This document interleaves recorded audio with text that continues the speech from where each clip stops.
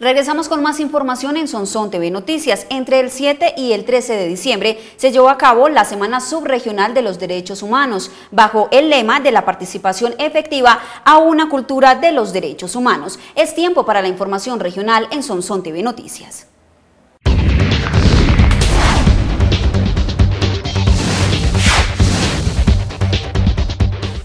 Esta semana tuvo entre sus objetivos fortalecer la articulación entre las instituciones y organizaciones que velan por el respeto y la garantía de los derechos humanos y la aplicación del derecho internacional humanitario en la subregión Páramo.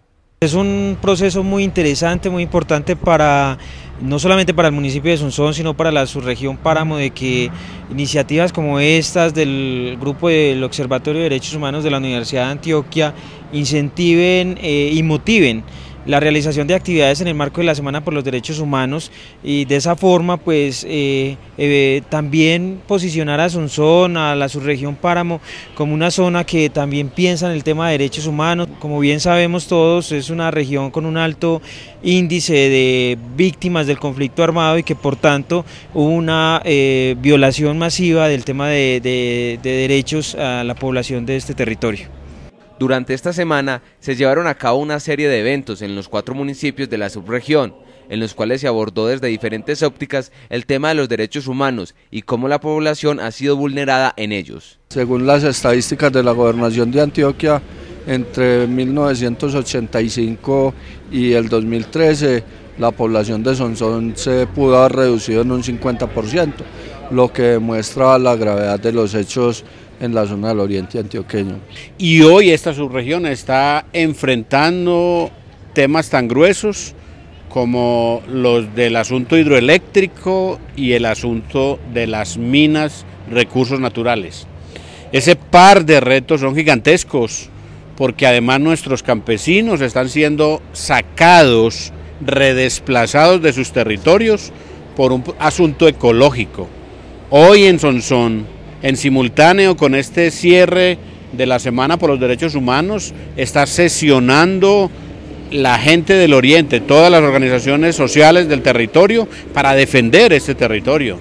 Con este tipo de eventos lo que se busca es crear mayor conciencia social y que se genere una articulación entre las diferentes instituciones en procura de su protección.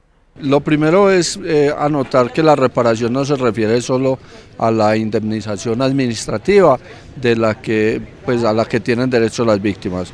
No puede negarse que es un derecho a las víctimas, pero la reparación tendrá que ir más allá. En materia de desembolso de los recursos, creo que es eh, insuficiente aún la situación. Eh, ayer estaba mirando con las cifras y son, son tuvo más de 18 mil víctimas. Eso quiere decir que eh, la tarea está aún por hacerse. Si la gente está empobrecida, si la gente está con problemas de traumas psicológicos y emocionales producto de la guerra, si a la gente la están redesplazando en la actualidad, lo que toca es mover más y mejor a la sociedad civil para que se generen movimientos, transformaciones, adecuaciones institucionales que garanticen que esta realidad se cambie. Esta Semana por los Derechos Humanos, que fue liderada por el Observatorio de Derechos Humanos y Derecho Internacional Humanitario de la zona Páramo, contó con el acompañamiento de la Universidad de Antioquia, la Universidad Católica de Oriente, el PEP de Derechos Humanos, con Ciudadanía, la Mesa de Derechos Humanos del Oriente Antioqueño, MUSA, Administración Municipal y Gobernación de Antioquia, entre otros.